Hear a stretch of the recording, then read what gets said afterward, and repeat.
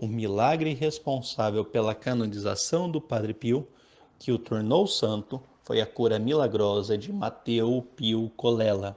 Mateu nasceu em 1992 e, com sete anos, começou a apresentar alguns sintomas de uma gripe qualquer: indisposição, febre alta e dor de cabeça.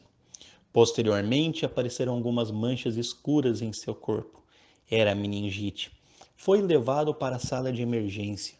Foi feita uma punção lobar e um tratamento à base de antibióticos e de cortisona. A mãe rezava sem parar para Jesus, Nossa Senhora e Padre Pio. O garoto foi levado para ser entubado por causa da dificuldade respiratória, bradicardia acentuada, choque septicêmico e comprometimento no miocárdio. Cada vez se tornava mais grave o caso. A mãe continuava a rezar e foi rezar diante das relíquias do Padre Pio. E depois foi rezar um rosário no túmulo do Padre Pio.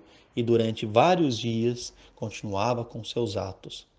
O filho ainda estava numa situação complicada, coberto de úlceras e manchas escuras, seus olhos fechados e respirando por aparelhos. A mãe continuava com sua fé inabalável no Padre Pio. Repentinamente, Mateu Pio começou a reagir. Abriu os olhos e conseguiu falar o sonho que teve. Primeiro me via na cama, onde estavam os aparelhos e os fios. Depois comecei a ver, através da porta do meu box, uma porção de raios de luz que começaram a entrar e acabaram me acordando. Então vi primeiro o Padre Pio e do outro lado vi os anjos. Aconteceu um verdadeiro milagre. Mateu estava curado. A conferência médica realizada no dia 22 de janeiro de 2000 chegou às seguintes definições: diagnóstico de Mateu Pio, septicemia meningegócica hiperaguda, com choque séptico severo, gravíssima hipotensão arterial, parada cardiorrespiratória seguida por insuficiência cardíaca prolongada, coagulação intravascular disseminada e insuficiência de vários órgãos e sistema Prognóstico, prognóstico fatal.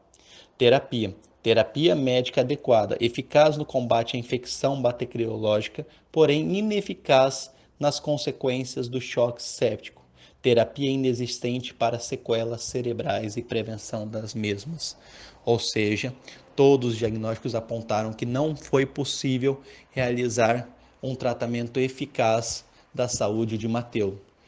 O que causou a sua cura foi a intercessão milagrosa de Padre Pio, que através desse milagre foi elevada à honra dos altares como agora São Pio